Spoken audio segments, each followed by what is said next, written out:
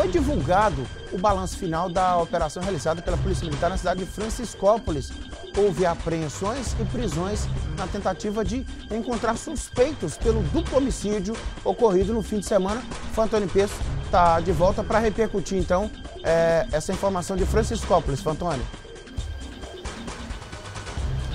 bem, Nicomedes, nós estamos aqui no stand da Polícia Militar na Feira Internacional de Pedras Preciosas e o resultado dessa operação ontem uh, em Franciscópolis foram quatro prisões por crime ambiental, uma prisão por tráfico de drogas e porte, porte ilegal de arma de fogo, mais uma arma de fogo a calibre 380, a pistola 380 apreendida, o mesmo calibre da arma utilizada no crime no último final de semana, no último domingo, quando dois jovens de 20 e 22 anos foram assassinados a tiros dentro de uma casa na cidade de Franciscópolis e ainda 30 munições calibre 380, mais porções de droga, dois aparelhos celulares.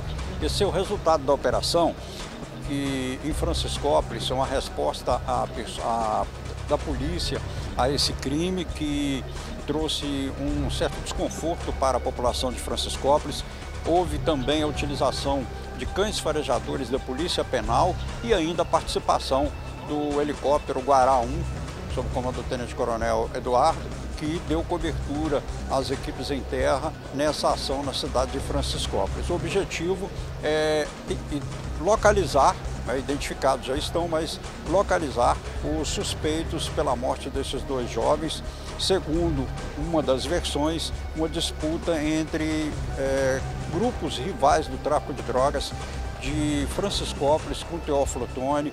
A polícia está verificando essas, essas, essa possibilidade, não descarta outra.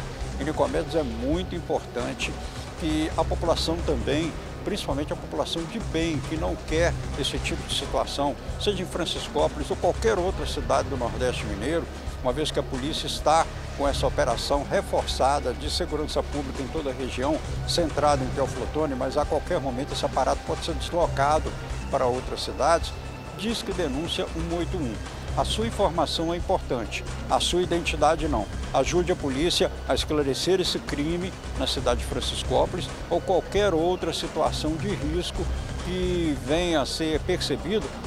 Ajude a polícia, ela está à disposição para trazer paz e tranquilidade e esse é o resultado da operação lá em Franciscópolis, no Comédios. Obrigado, Fantônio Peço. Daqui a pouquinho ele volta aqui.